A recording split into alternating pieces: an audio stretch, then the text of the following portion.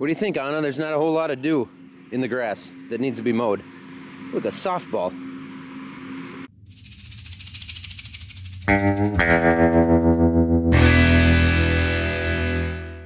The dew in the grass in the mornings is one of the scientific measurements that we use to try to figure out how early the soybeans are gonna go for the day. A heavy dew generally means that we're gonna need to wait a little while because the soybean pods took on moisture overnight. So we need the sun and the wind to dry them up before, before they'll shell out good and harvest nicely. And obviously a lighter dew means that we can probably go a lot earlier, especially when the weather is like this, which is awesome. Morning, Cat. Cat and Anna are buddies now. Okay, sounds good. I'll get the second one fired up here. Allen's just leaving with the first one. All right, bye.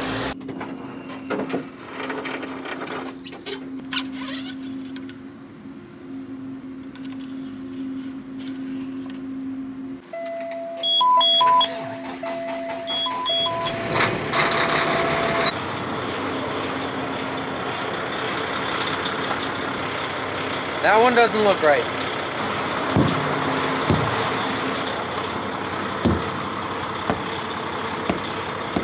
That one is not right. That's the purpose of the hammer in the mornings. You got a low one. Do we? Yeah, really low. Which one? Uh, outside right rear on the truck. Okay. Yeah. Yeah. And I know there's an inside far right rear on one of the trailers that we got to keep an eye on. Okay. Jim and I took it off and covered it in soapy water and never found anything, so we put it back on. That possible or standard. Right. Could be the rim too, inside the rim somewhere. Or a valve stem. I don't, yeah, we couldn't find anything.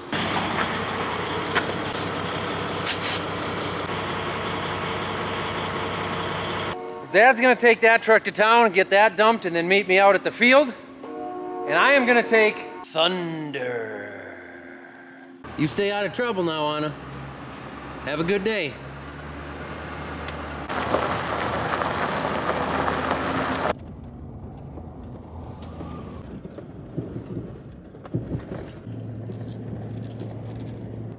Morning, ladies.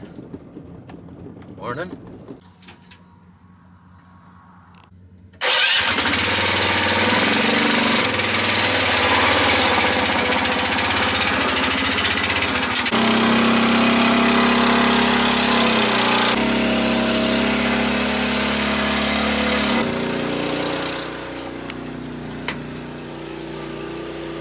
Dad said the air conditioning wasn't working real well in the 9870, so we're gonna get the air compressor, the air compressor out here and at least blow out the coolers and see if that helps anything. That's not very dirty. None of them are. Kind of doubt that's the issue.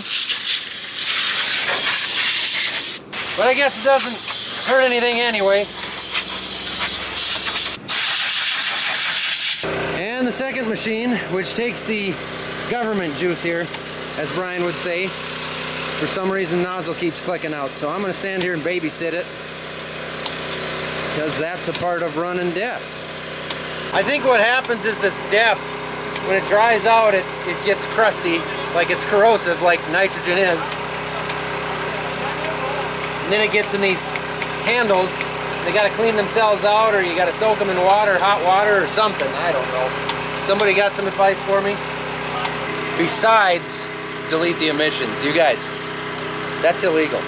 These actually look like some pretty decent beans, which they should be. This all kind of lays low, lays flat, stays wet underneath. There's a little bit of tile underneath it. I haven't actually heard what they were running last night, but they should be pretty good. Check the header for broken, worn sections and guards. That's a morning routine every year during soybeans. Got one.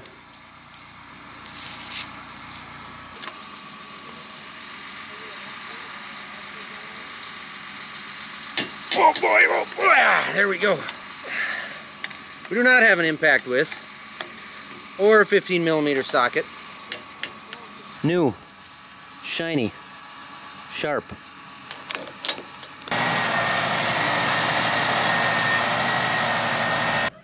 You can chuck that in the back of that dually. Five to four, I got the 9870 running. Um, I'll go put that in whatever has room left in it. Then the little bit that's in here, I'd assume you want us to strike out and try it. He's loading a truck. Concentrating.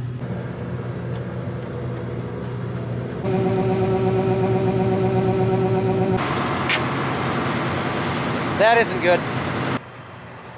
Uh, and we don't have enough traction on the gravel to pull that forward or backwards from what it sounds like. Yeah, that's uh, that's not good. This approach isn't quite wide enough to turn south on. Um, let's uh, we're gonna try and back up here. He said he's stuck and I can see his tracks, so I'm assuming he's stuck and it won't back up. But Dad's gonna get in it just in case something were to happen here. Because those frames will twist and bad stuff can happen. It's it's loaded up, so I don't think it would ever pull forward out of that.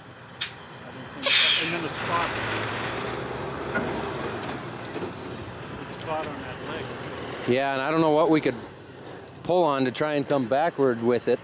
We could hook the cart tractor to something and pull backwards would probably, I don't think it'd take a whole lot.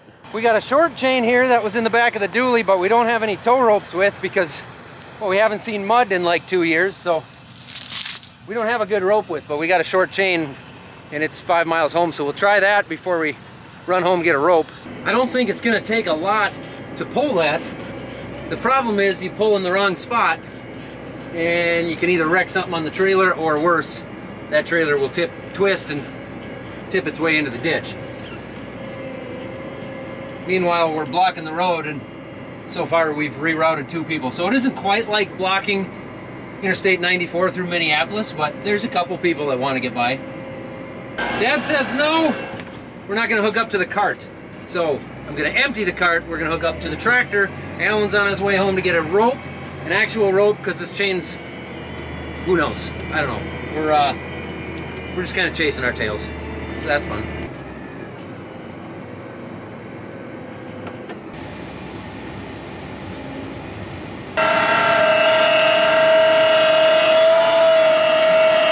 Gonna set my IVT here for, don't know, very, very slow. How low can I go? I don't really need the flashers on.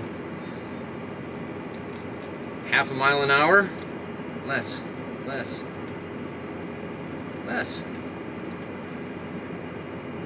Okay, we'll go. I would say you can try it real slow. I've got it in reverse. I got my IVT set to 0.7, which seems too fast, but doesn't want to let me go less than that. You just tell me what to do. I got it lower. Okay, chain's getting close to tight. Close to tight. We are tight, and I'm creeping real slow. It's moving. Seems like it's moving. We're moving. I'm gonna speed up just a hair. The tires are dragging, or the... We're moving. Oh, hang on. Stop. Uh, I wonder if I should get realigned here. You were coming at me faster than I could speed up. Fine.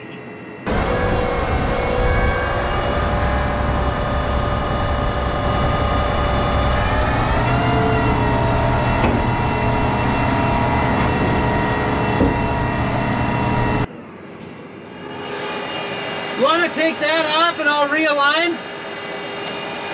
I think we were stepping on each other there. Were you saying that you're fine now or do you want me to realign?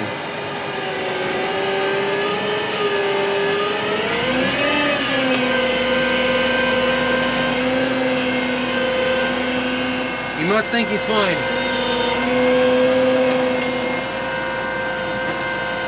You just try back up below. Yeah, you can go ahead and try it. It looks fine from here. You're gonna have to turn that truck soon. Keep coming. You can keep it coming. Keep it coming. It's gonna start coming up in the back. There you go. It's coming back. Your truck, you got plenty of room on the right side anyway to use. clear behind me? Clear behind you. Clear behind for 150 feet. That was a pretty deep drop off. I think we got lucky. I think so too. Still clear behind me? Yep, you got 100 feet yet before you get to the 9870. They pulling onto the road? And four.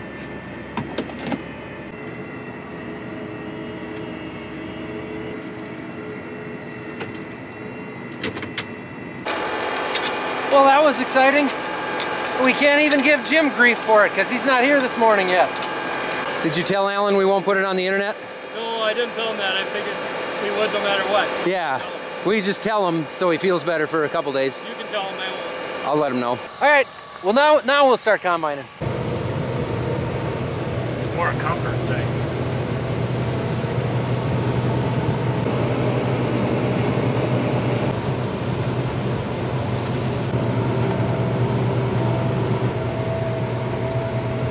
Six mile per hour, Jason. On a 40 footer. 40 feet of soybeans. Is that uh, is that common? Is that normal? Yeah. Or just with the John Deere's, probably. Just with the John Deere's. Yeah. Much. I'd imagine so. we finished up the south piece of this field. Dad's gonna finish up the north piece. He's probably only got 20 acres left back there. So Jason and I are gonna load up the honeybee here on a cart that he pulled over with his truck. And then we're gonna head back north. It's about 10, 12 miles. Right now, this is our farthest south piece. So we go right by the farm halfway to our farthest north piece. And once Dad's done back there, that farthest north piece is about 250 acres. That'll be it for our soybeans for the year.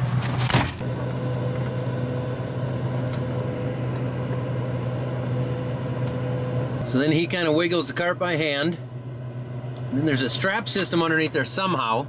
He connects those straps, then it's got a crank on it, and he actually cranks and lifts the dolly itself up into the bottom of the header. Pretty, pretty handy, really.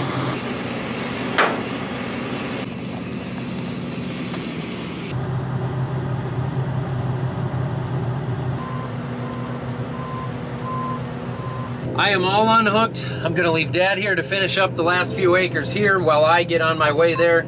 He's got Allen running trucks and Jim running cart. Jason's gonna grab that honeybee header and meet me at that field.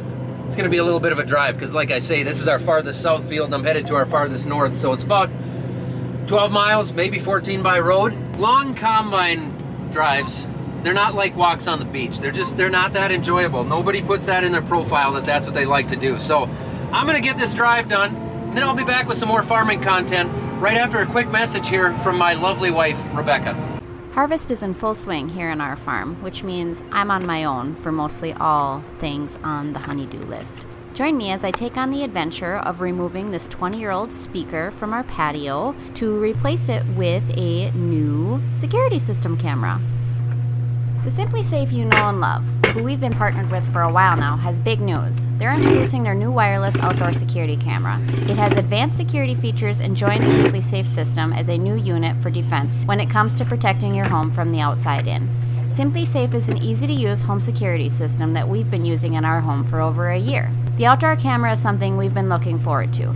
The wireless outdoor security camera features an ultra wide 140 degree field of view so you can keep watch over your entire yard, or in my case, our kids while they're enjoying the swimming pool. It has a 1080p HD resolution with an 8 times zoom, along with a built in spotlight with color night vision so you can bust your friends when they try to take a dip in your hot tub while you're away. It also has a two way audio so you can yell at your kids when they're out of line. As you can see, it's super simple to set up in just minutes, with the versatile magnetic base allowing you to get just the right angle. And it has an easy to remove rechargeable battery so it doesn't need an outlet and can go anywhere on your property. As always, the SimpliSafe interactive monitoring service will call the police if it's alerted to anything. Their team of always on professionals are easily reachable and always keep lines of communication open for the protective service. Take 20% off your SimpliSafe security system and your first month is free when you sign up for the interactive monitoring service. Visit simplisafe.com backslash millennial farmer. I'd also like to take this time to wish everyone a safe harvest. Please remember to always use the right tool for the job, slow down, and take a minute to be aware of your entire crew's location. Know where your children are. If you feel fatigued, park the equipment for the night. Practice grain bin, PTO, and auger safety. If you're following farm equipment on the road, slow down, be patient, and wait to safely pass farm equipment. Wow, that was perfect timing. Thanks, Becky. We're back to the farming. I am just about to back in towards this field here. Jason's coming with the header behind me. We're gonna hook that up and get back to work.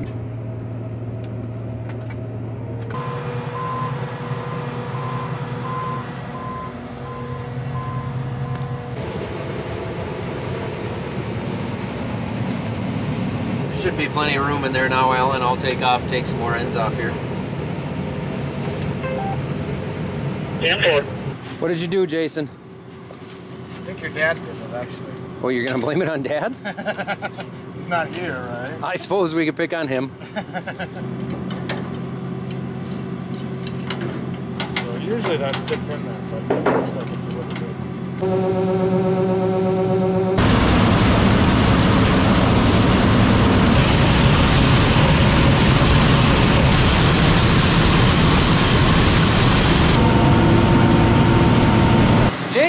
Jumped out here, and we're waiting on another empty truck. He uh, he had to run Jim and Allen down actually to the last field to get a truck. So I've got a minute here to tell you guys what I really think about this honeybee header while Jason is gone. It's doing a dang nice job. It definitely took some setting up.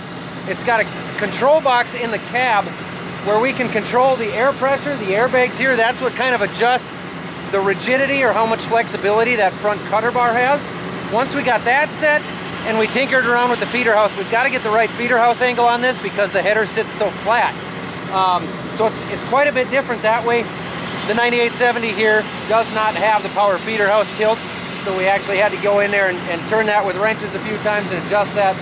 But now that it's sitting flatter and we got things set right, we got the air set right, it's doing a really nice job. I'm combining 45 to 50 bushel beans right here, which is by far our best field of soybeans here. And I can do five and a half, six miles an hour, and it's not a problem. Honestly, I could, I, I'm just not comfortable at six miles an hour. But the header, the combine, we can do it. I just, there's a lot going on at that speed. You can definitely see how well it's cutting right here. And it, it even does better than this. It's got definitely a lot more flex. Once you get the air pressure figured out where you want it, it does a really nice job. I was a little bit unsure of the big pan or that stainless steel, I guess I call it the pan, before the before the crop gets from the cutter bar to the belt, there's a wide area there. It's really weird when I pick up on the ends, I'm still not used to it. It drops like a foot down and you can't really see the cutter bar from in the cab when it does that. But that's part of what really allows the flex when you go through the draws at five, five and a half miles an hour. It follows the ground pretty well. And the lower you have the air pressure, the more it follows the ground. But you've got to have dry ground in order to do that, like we have here. That way it doesn't start pushing in spots and pushing up the mud. So at night when you're running, if the ground starts getting tougher, the moisture comes up and you get some dew down there, you can turn that pressure up inside the cap and put a little more rigidity into the header and it helps you run a little bit longer that way. I will definitely say though, I do miss the Prairie wind system that we've got on the Deere header. The Deere header does a really nice job too. You know, everything's got its good and its bad, but I do like that wind system a lot. I think that would add a lot to this header as well. Um, you can't change the draper belt speed on this head, but it doesn't seem to matter. It doesn't seem like you really need to. Kind of like the Deere head, once we get it set, we really don't mess with it much. It's got its own air compressor over on I believe it's on the other side, but anyway, we wired it in, just connected it right to the battery. Zip tied the line here, ran a box up into the cab for a couple days here. You can also adjust the tilt right here. There's a cylinder there on top of the feeder house, so you can adjust that tilt, but you still got to be pretty close with your feeder house tilt in order to make sure everything is right. It's a good product. I honestly, I wouldn't shy away from it at all. It, it seems like a pretty solid header. Oh man, it's a delivery. Mountain Dew Express. Mountain Dew Express. That's what you're drinking. It's been about five hours since I last turned the camera on, which is a good thing. That means it's been very uneventful, just how we like it. Dad and I are getting pretty close together here. We've had Jim running back and forth and Allen going to town, so I don't think we'll get this field finished tonight, uh, Jason wants his header back. He's going to take this thing and head south again, so we'll be down to one machine. But we aren't going to have a whole lot left here to finish up tomorrow. I mean, things things are just going good, and when it goes good, I don't have a whole lot to show you guys, and that's good.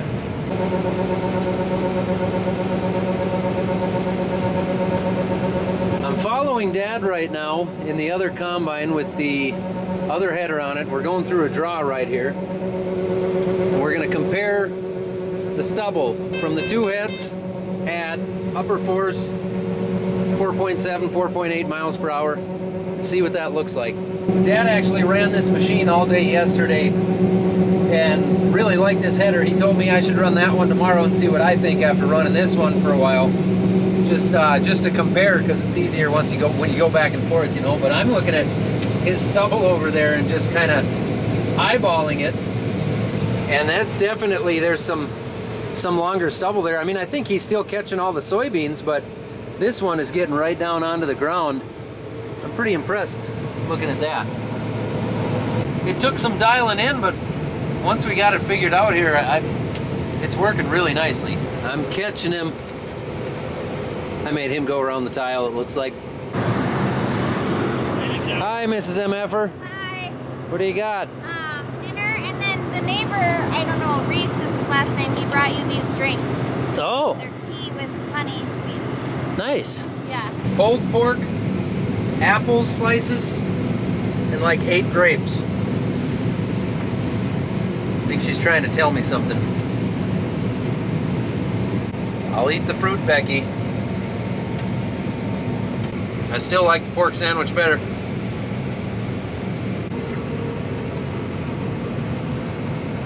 I tried to catch that on camera, it would have been sweet, but this camera's too slow.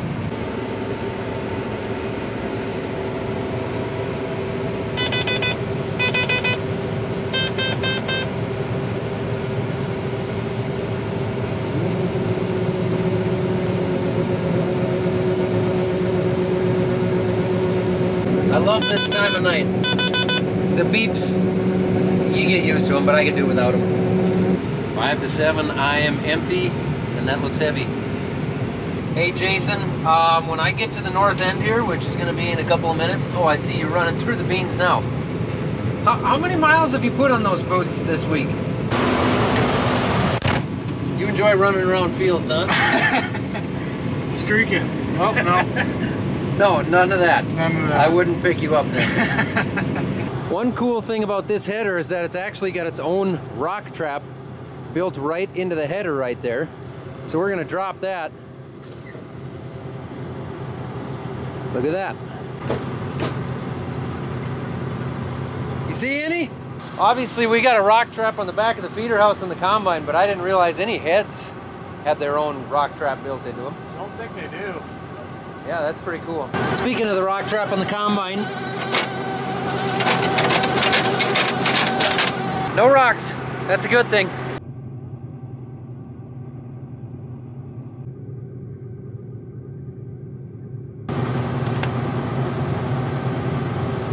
I'll maybe take off. Are you okay with that? Yep.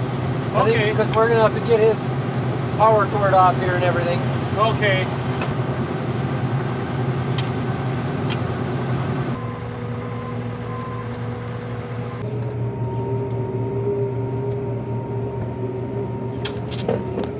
This is one of them fancy paved roads. The yard is dark when we're doing soybeans and hauling them to town. Kind of weird coming home at harvest without the uh, all the city lights on.